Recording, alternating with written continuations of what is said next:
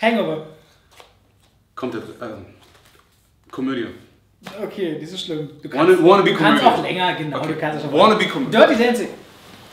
Frauenfilm. Schindlers Liste. Kritisches Thema. Ah, es sind wieder zwei weiter. Ist nicht so schlimm, nein, das ist schon okay. Twilight. Po äh, nee, bei, bei Schindlers Liste Pollack, von Oliver Pollack, weil ich immer mit dem über Schindlers Liste rede. Der, dieser jüdische Comedian ist halt echt immer ein sehr auch lustiges Thema. Deswegen Pollack. Okay. Twilight. Gay. Simpsons? Also wirklich gay. Nicht, ja, ist ja gut, alles gut. nicht abwertend, Alles gut. aber schon gay. So, komm Bella, ja, wir gehen. Ich habe auch gekotzt. Ich habe alle Teile abgekotzt. Also denkst du, die können niemals Sex haben, weil der Typ steht eigentlich, ich glaube, der will auch lieber Jack. Der Werwolf und so möchte reißerisch und sie ist ja auch. Vielleicht wollen auch die beiden Kerle. Vielleicht wollen Ed Deswegen, also das ist eigentlich wirklich, ich glaube, so an, an, an Homoerotik nicht mehr zu, über, zu überbieten. Also deswegen, darum, so muss ich noch ausführlich sein, aber gay. Apropos Homoerotik, hast du den, du hast das Skyfall bestimmt gesehen? Ja. Ich, diese Szene, wo Badem das erste Mal auftaucht. Ja, aber ich fand die super lustig. Super, super. Ich meine, Ach so, wo immer so die Beine kann so mega sein. Also das war der I'm Hammer. first, how would you know? Das war der Hammer. Aber ich Ähm, fand Die Hard 5 übrigens besser als Actionfilm. Na jetzt, das ist ein ganz übles Thema. Also ich fand, das war ja einer der schlechtesten Actionfilme der Ewigkeit. Das finde ich, das find ich aber das find ich gerade witzig. Boah, das aber, war eine so- der Kritik, aber eine der Kritiken war auch so, es ist so, äh, bis jetzt war immer so menschlich, jetzt ist es so over the top. Nicht so, Die Hard 1 und 2 war menschlich in der Form. Ich bringe mal ein ganzes Terror-Squad auseinander. Ich meine, du hast, wir haben ja getwittert, du hast gesagt, das ist Zerstörung und das ist auch Zerstörung gewesen. aber mehr Aber ein bisschen zu. Okay, okay, Herr der Ringe.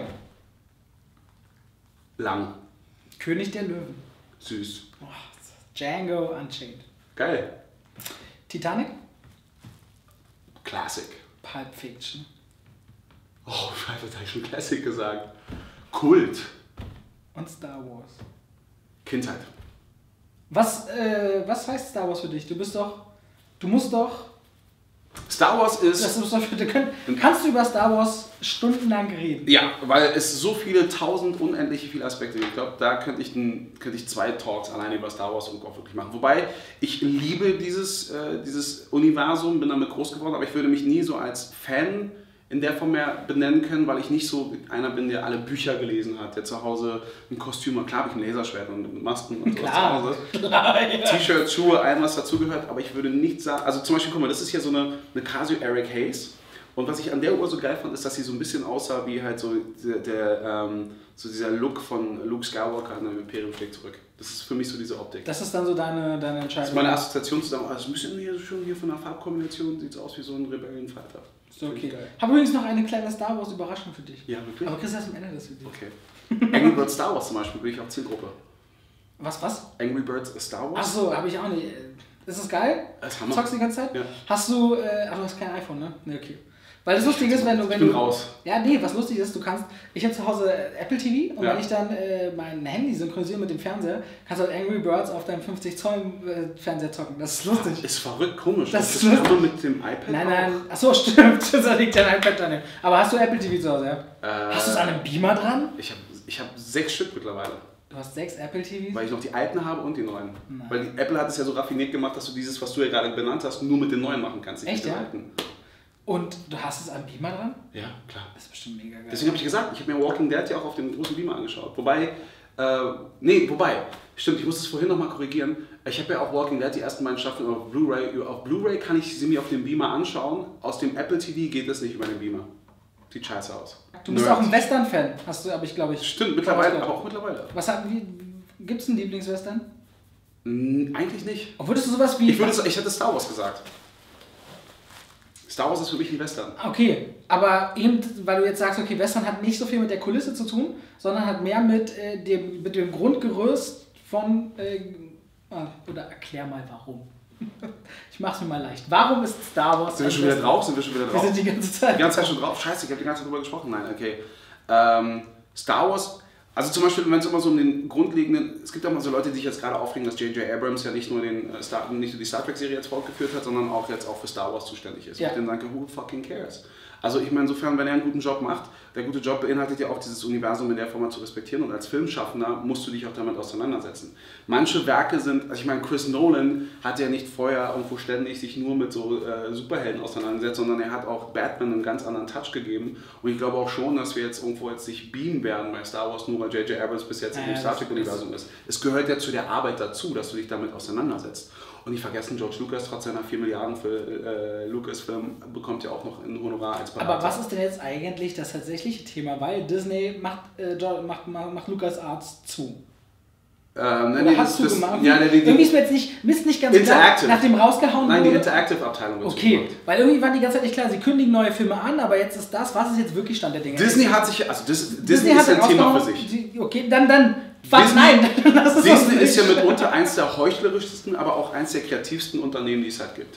Auf der einen Seite machen sie immer halt so Familienentertainment für alle möglichen Pipapo ja. und äh, haben dann auch, äh, verkaufen dann auch äh, halt alles so schön so mit dem Disney-Logo und so weiter und so fort. Aber wenn es dann so hart geht und so Menschenverachten mit Gewalt und allem möglichen dazu, was ich auch ganz gerne schaue, äh, geht es dann über Touchdown oder über ihre ganzen anderen ja. Partner und so. Das heißt also, wir haben damit nichts zu tun, wir sind nur Familienentertainment.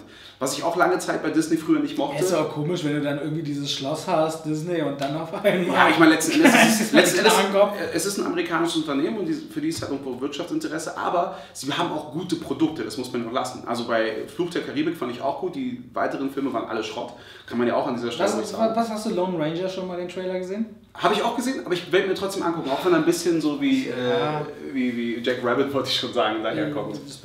Ja, ähm, äh, Finde ich, find ich nicht, aber Disney ist halt tatsächlich auch, was ich nicht mochte, war, auch wenn es um ihre Statuten geht, dass sie ja schon so ein bisschen also die waren für mich nicht offen. Die hatten ja nochmal ganz besonders klischeehafte Gedanken, wie jede Nation ausschaut, um das auch so zu verkaufen. Da sind sie mittlerweile locker geworden. Ich fand es auch sehr gut, dass Steve Jobs auch Disney mehr oder weniger den Mittelfinger gezeigt hat und auch gewonnen hat. Und damals Will Eisner, glaube ich, war das, der noch gehen musste, äh, weil er sich dann angelegt hatte, weil Disney ein Kreativproblem hatte und Pixar mhm. wesentlich erfolgreicher war. Und es war tatsächlich so, was ich mitbekomme, dass Disney versuchte ja auch Pixar zu verarschen, äh, mit so ganz komischen Klauseln in Verträgen und da war halt Steve Jobs richtig pisst. Und irgendwann war es halt so, dass halt dann Steve Jobs sich durchgesetzt hat, wo der Eisner gehen musste. Und kurze Zeit später hat dann noch Steve Jobs gesagt, hier, äh, was man jetzt auf dem iPod gucken kann, der Fluch der Karibik, ein ganz toller Film. Äh, es war schon so eine persönliche Genugtuung.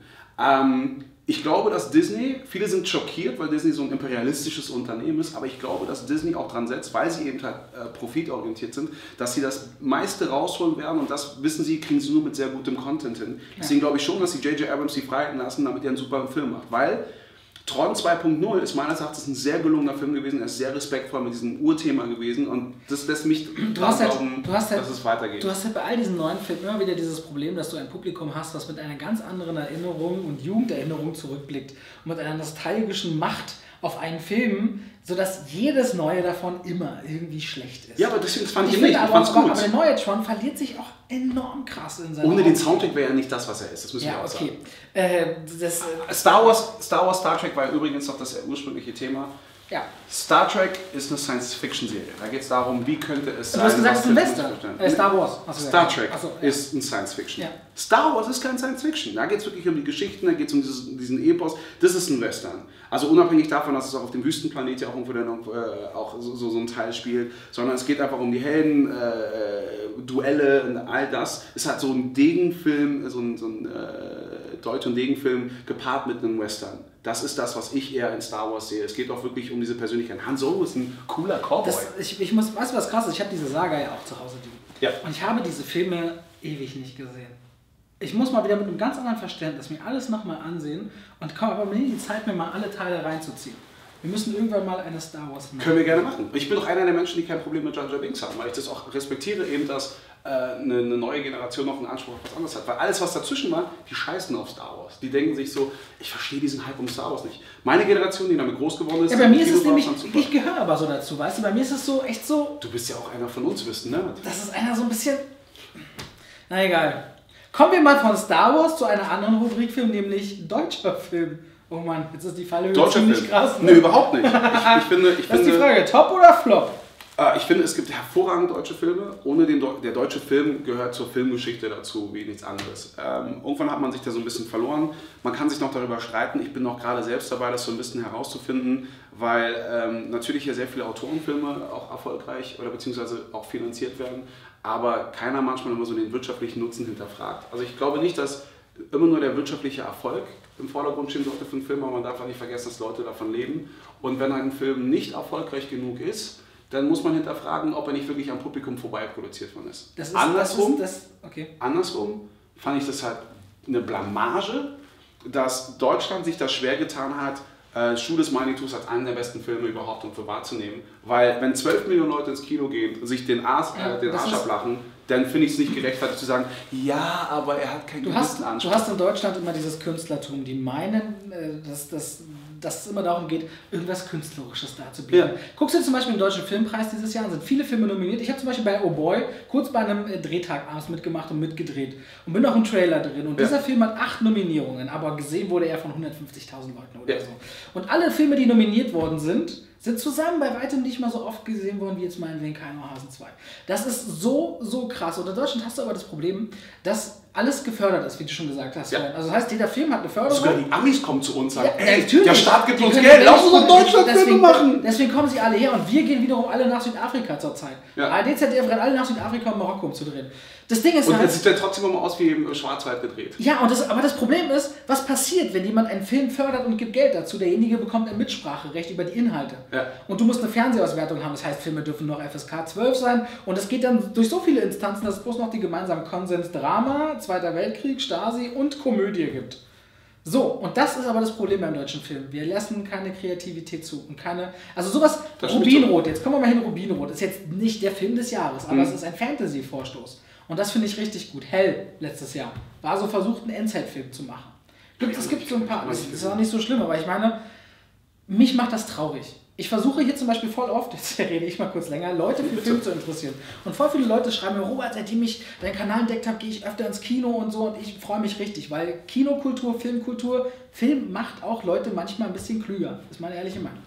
Stimme ich dir vollkommen zu. So, das, Hätte ich dir widersprechen sollen? Nein, nein. Okay. Aber mich macht es so unglaublich traurig, wenn du das in Deutschland siehst und du siehst diese Nation, die so viele Talente hat. Das siehst du in den Werbespots, siehst du, was sie alles können. Und die Amis kommen gerne hierher, weil die Leute so unglaublich gut sind und auch noch so unglaublich billig. Und dann ist das, was... Kommen Sie nach Deutschland, alle in billig. Amerika am Set hast du, hier hast du ein Filmteam mit 30, 40 Leuten hinter der Ja. Kamera. In Amerika 120. Und jeder hat einen Job. Da gibt es einen Typ, dessen Aufgabe ist es, den ganzen Tag die, die Sonnenschirme und Regenschirme zu halten. Ja, aber Und eben, hier weil die Leute das, weil sie auch ihre Schauspieler als Investment sehen, weil Genau. sie wollen, dass ihren Talent es gut geht, damit Ja. da ist wie bei den Dallas Mavericks, wo auch der Chef gesagt hat, meine Spieler kriegen alles, was sie brauchen, aber ich möchte im Nachhinein von keinem irgendwo eine Ausrede hören, warum er keine hundertprozentige Performance abliefern konnte. Ja. Und so denken die Amerikaner, was ist ihr Investment? Sie wollen, dass alle da zufrieden sind. Aber sie können das Beste natürlich auch weltweit wird. exportieren. Also das kann der deutsche Film halt nicht. Das könnte er. Die Franzosen machen es ja auch. Ja, Und das Französische, die Amis hassen Französisch. ja, aber die Franzosen machen halt auf jeden Fall, aber die machen auch gewagte Stoffe. Oder die Spanier drehen Ja, Horrorfilme. aber warum können die Franzosen zum Beispiel, oder auch die Spanier, warum können die mit weniger Geld besser aussehende Filme produzieren? Das verstehe ich nicht. Na, weil die, das hat, das ist, weil an dem Budget ja oft Entscheidungsträger geknüpft sind, die vorher schon dieser Kreativität den Lauf nehmen. Das ist das Problem. Wir dürften, müssen in einem Land leben wie in Amerika, wo nicht so viel gefördert wird, sondern wo der, wo, das, wo der Wettbewerb im Mittelpunkt steht. Diese ganzen, wir haben müssen alle Haushalts, Haushaltspauschale bezahlen. 17 Euro noch was im Monat. Ja. Zwangsabgabe. Zwangsabgabe, ja. Pay-TV. Können wir uns nicht, ja. Ja, ja, was heißt Pay-TV, aber ich habe keinen Vertrag gemacht. Zwangs-Pay-TV. Ja. Und in Amerika gibt es aber Pay-TV. Dann sage ich, okay, ich will HBO, ich will Showtime und die sind nicht mehr so werbeabhängig und machen dann so abgefahrene Serien eben wie The Walking Dead oder so. Gibt's bei uns nicht. Wir brauchen so ein System, wo wir selbst uns Pay-TV, wo wir meinetwegen Sky und andere Sender haben, die eigene Serien starten. Aber ich finde es interessant, dass du sagst, weil genau das Thema hatte ich nämlich gestern auch schon. Und ich, da wird noch mehr dazu kommen. Aber das ist jetzt auch ein. Da wird noch mehr dazu kommen. Achso, du meinst generell. Ja, aber ich bin der Fassung, ich bin der Auffassung, da muss definitiv öffentlich auch besser mehr darüber gesprochen werden. Das Ja, weil, weil ne, ich glaube, das deutsche Publikum, ich sehe es zum Beispiel, wenn ich, über, wenn ich einen Trailer-Check mache. Das heißt, ich gucke mal, ein neuer Trailer kommt raus und sage so, das wird euch in den Film erwarten. Bei deutschen Filmen sind die Kommentare tendenziell schon so, deutscher Film ist immer scheiße. Es gibt so ungefähr 30% Zuschauer, zumindest auch auf DVD-Kritik, die echt so Ja, aber das hat ja auch was mit Bildung zu tun. Und Wie Bildung? Bildung, Bildung kommt ja auch dadurch, dass auch, wie aufgeklärt Leute auch wirklich sind, wie informiert sie auch wirklich sind. Und manche wissen ja gar nicht, wo sie auch anfangen sollten, sich irgendwie zu informieren. Ähm, Es ist wirklich so. Viele Leute wissen ja gar nicht wirklich, was da draußen und wie diese ganzen Geschäftsgeschichten von dann ausgehen. Ja, aber, ist ja auch, aber das ist, ja- ist ja auch egal. Weil der normale Kinogänger geht ins Kino und bezahlt für einen deutschen Film den gleichen Eintrittspreis wie für äh, der Hobbit. So, und das sind einfach zwei völlig verschiedene Produkte am Markt, die gleich viel kosten. Und das ist, das ist der das ist der Alltag des Zuschauers. Wir reden jetzt mal nicht über Filmemacher, Schauspieler, Moderatoren, Ja, ja, ja. die sehen alle den anderen Blickwinkel, was sie wollen und bla. Ey, das geht um Nee, die wobei, Menschen, wobei. In Amerika ist es auch wirklich so tatsächlich, darum funktionieren auch so diese Castingshows auch anders. Ich meine, viele Talente, bei 83 Millionen Einwohnern muss es auch mal wirklich gute Talente geben, die du international 83, achso, in Deutschland. Ja, Deutschland. Da gibt es auch, da gibt's auch bestimmt auch mindestens ein Talent, was definitiv auch international verwertbar wäre. Aber also jemand wie Dieter Bohlen denkt sich, nee, könnt ihr eh nicht machen, der will immer auf Nummer sicher gehen, Hauptsache ich produziere das und das ist alles wunderbar. Mein Schrott geht halt nur in den deutschsprachigen Räumen, außer Modern Talking damals, das waren noch andere Zeiten. Ähm, das ist das, also ich habe Respekt für seine Karriere, aber für das, was er jetzt aktuell darstellt, kriegt ein bisschen so das Kotzen.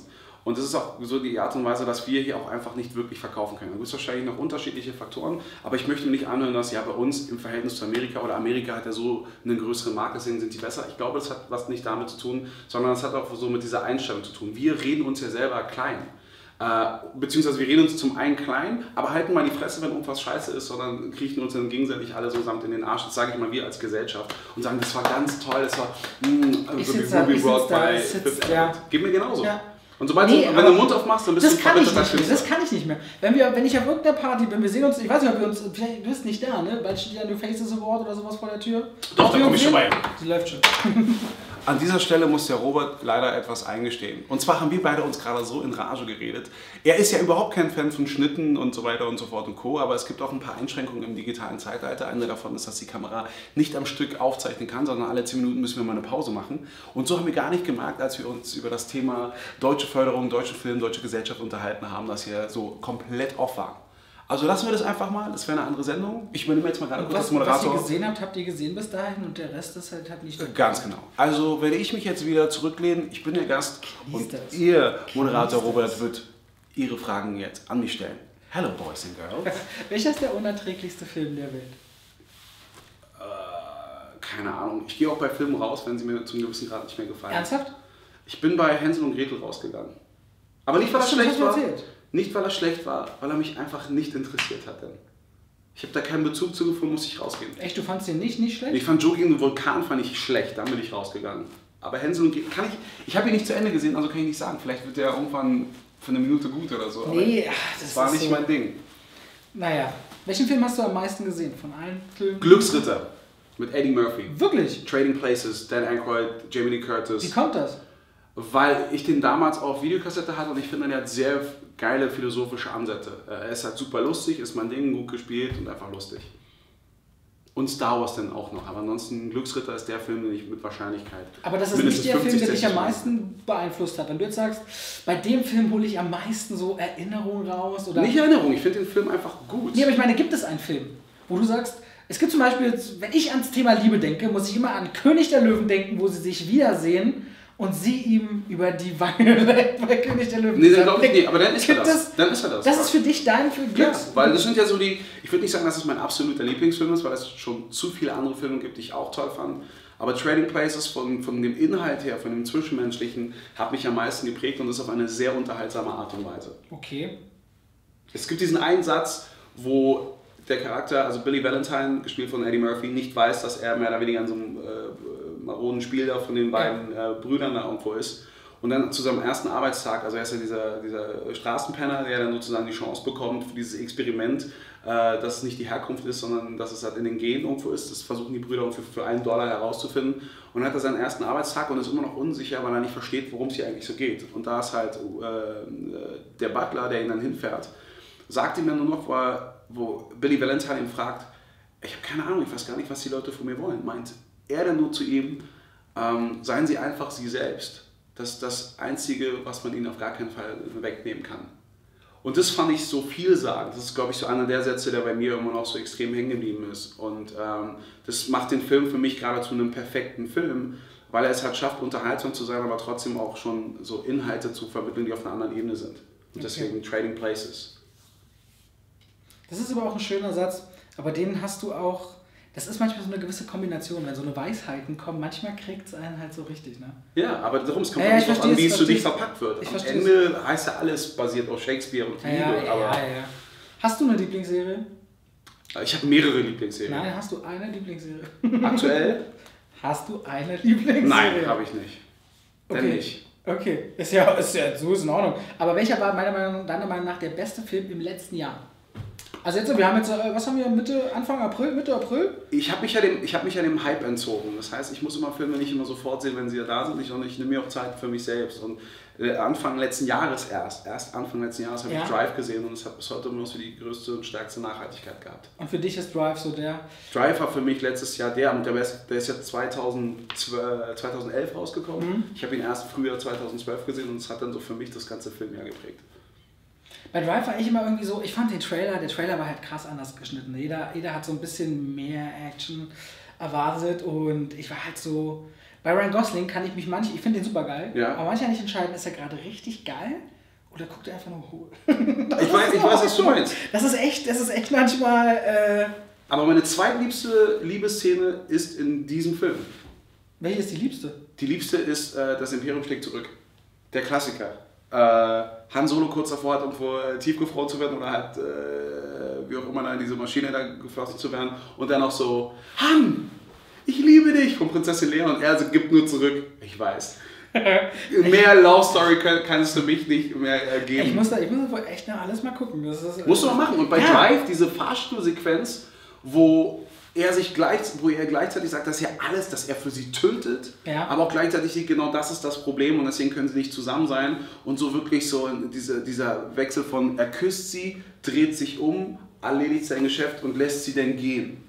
Das ist so eine fantastische Filmszene. Mal, ich Gänsehaut nicht schon darüber reden.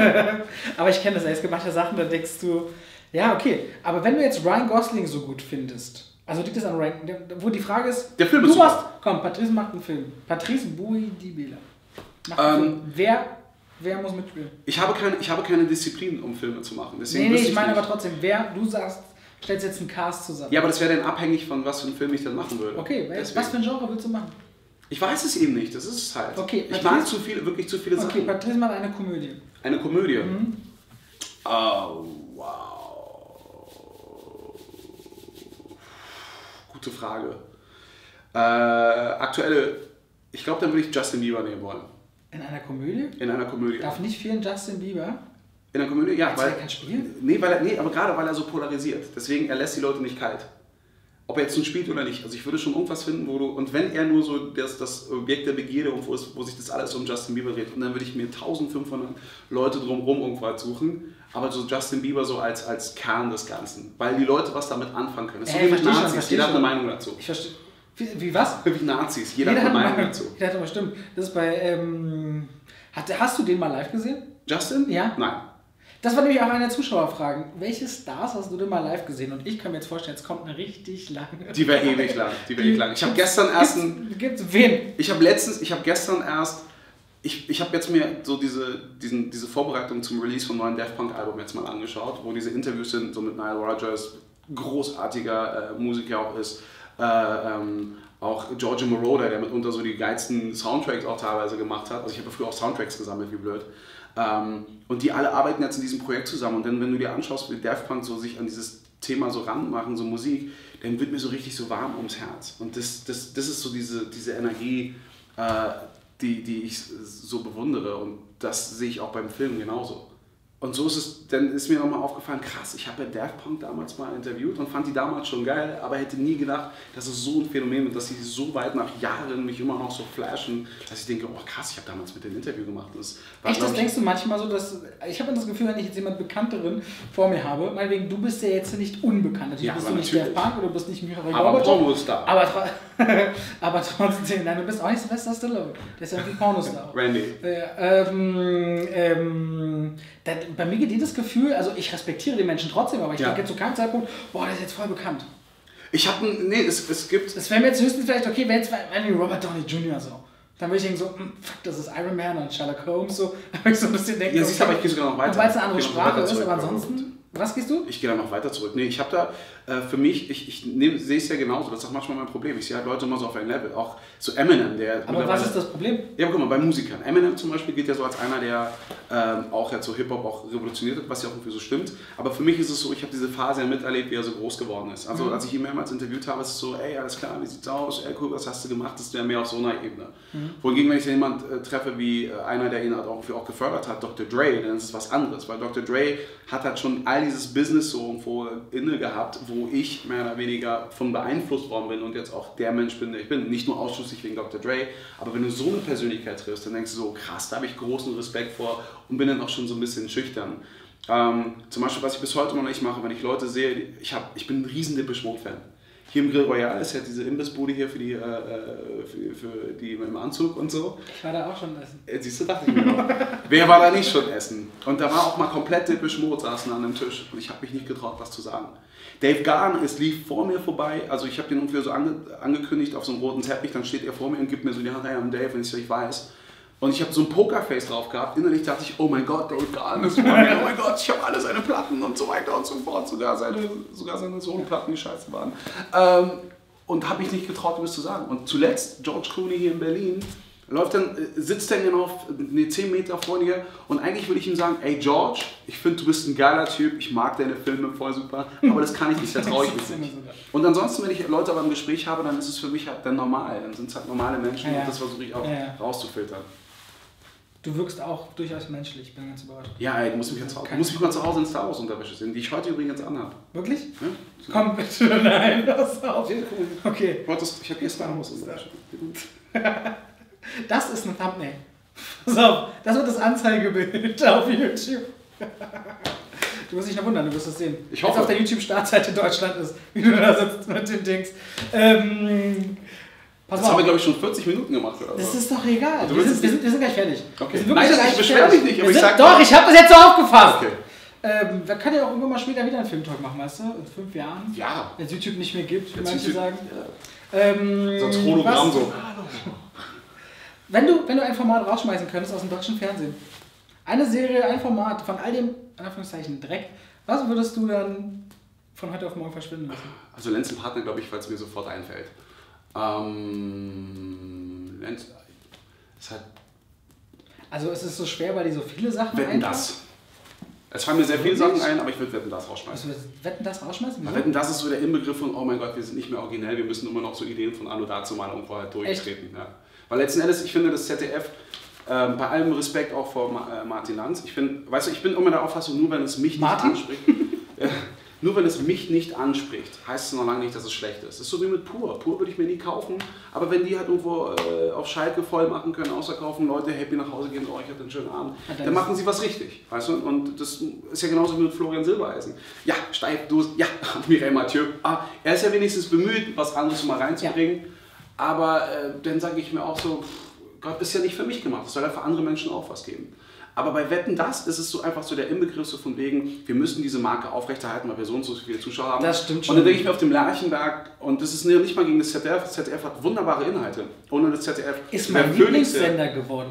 Muss ich ganz ehrlich sagen, das ZDF, Dreisat, Arte, Phoenix, so das genau, ist so eine Sache. Aber ZDF Neo, Info, Kultur, ich mag sie Das ZDF macht wunderbare Arbeit ja. bei Kika. Ich finde nach wie vor das Logo eins immer noch der besten Nachrichtenformat. Das ist ja oute ich mich. Also Logo, wenn ich das mal gucke, finde ich super geil. Wenn du das mal guckst? Äh, hin und wieder. Äh, Phoenix, ohne, ohne das ZDF wäre Phoenix nicht das, was es ist. Das ist ja eigentlich auch ZDF, finde ich super. Also was mhm. da auch für an Beiträgen auch ist. Also warum das ZDF hat so tolle Leute, die ja irgendwie für sie arbeiten. Und dann erzählt mir einer, dass irgendwie diese aberhunderte Beamten, die da irgendwo auf dem Lerchenberg irgendwo sind, ist keiner, der mal auch einen Vorschlag gehabt hätte, wir machen mal eine andere Show, die heißt dann so und so, wir machen mal eine andere Richtung. Von mir aus kann es auch der Lanz machen, aber muss es dann unbedingt Wetten das sein? Wo sind denn jetzt hier diese ganzen Geschichten mit Wetteinsatz und äh, nicht so mal kurz so eine, so eine Pseudo-Wetteinsätze, die mal sofort erfüllt werden? Und damals hast du noch richtig ohne äh, Digitalkameras und so Leute gehabt, die wirklich Wettschulden gemacht haben, die über einen anderen Zeitraum waren, die auch wirklich sich engagiert haben, Charity oder was auch immer. Jetzt ist es halt nur Show, bla bla, schön, toll. Früher war Grabstein Gottschalk so sehr und gut. jetzt ist Lanz,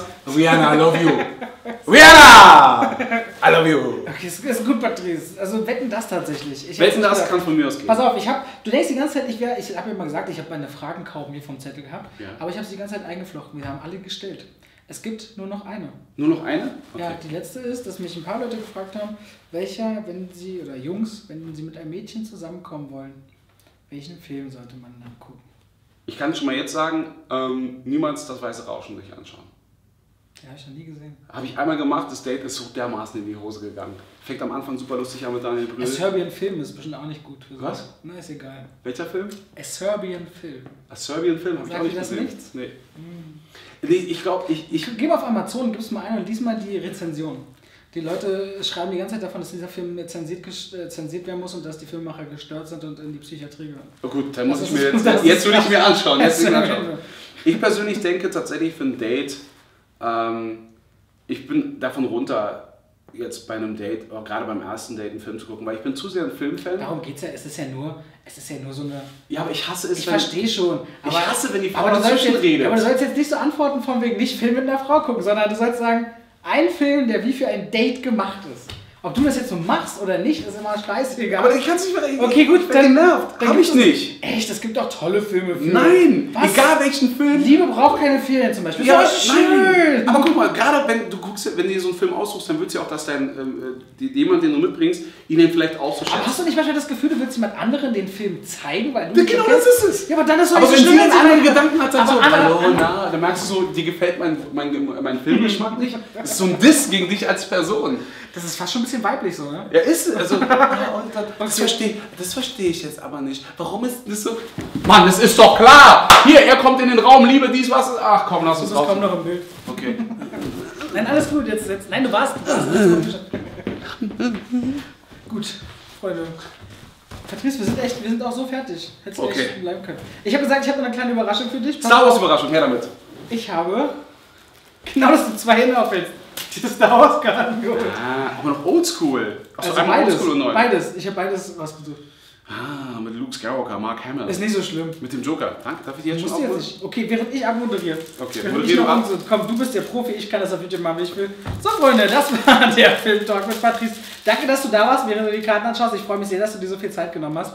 Vielleicht einmal mehr. Schreibt in die Kommentare, Leute, wie ihr es fandet und spannend. Ich fand es mal wieder sehr erfrischend. Gleich kannst du noch was sagen. Wer jetzt noch will, schaut sich den letzten Film-Talk an mit Le Floyd, Freunde. Oder aber vergesst nicht die großartige Verlosung, von der wir vorhin schon geredet haben. Einer von euch geht mit mir zur Star Trek Into Darkness Premiere hier in Berlin. Klickt euch das gerne, abonniert den Kanal oder meinen Zweitkanal, wenn ihr kein Video verpassen wollt. Und das war's von mir und dir für jetzt. Morgen um 15 Uhr spätestens ein neues Video. Und bis dahin hoffe ich, ihr seid morgen wieder mit dabei. Natürlich um drei.